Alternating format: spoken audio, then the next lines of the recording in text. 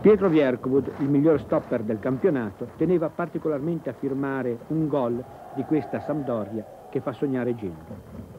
Vierkovud soffre quando gli dicono che non ha piedi buoni. Così, dopo averci provato con il destro, spedendo il pallone sopra la traversa, ci è riuscito di testa. Su punizione di Sunes, la sua realizzazione perfetta per stacco e tempismo ha aperto alla Samp la strada per l'Europa. Un applauso che viene da lontano, che sa di attese di una città nel calcio, e non solo in questo sport, troppe volte deludente e delusa, anche per lo stadio, oggi messo a dura prova da 43.000 spettatori.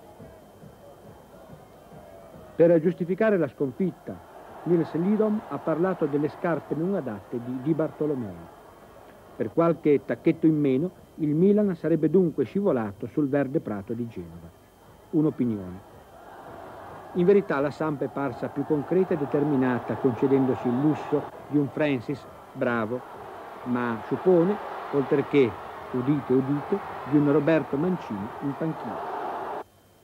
Ma quando Sunes segna gol come questi, ma quando Sunes dicevamo segna gol come questi, nessuno bada al. Neppure la difesa, che sull'unica distrazione ha concesso a Battistini la piccola soddisfazione del 2 a 1, mentre al microfono di Alfredo Liguori Bordon ha detto che la via della nazionale passa attraverso la Sandoria e Manzo, a nome del Milan, ha promesso un riscatto a partire da domenica prossima con il Verona.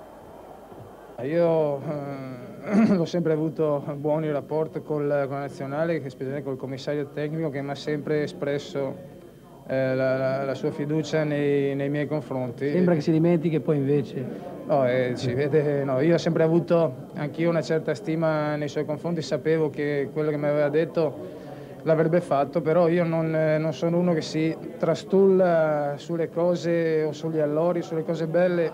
Io dico che cercherò ecco, di continuare a dare il massimo nella, nella, mia squadra di club, cioè nella Sandoria, e poi se verranno ancora queste soddisfazioni con la maglia nazionale ancora meglio.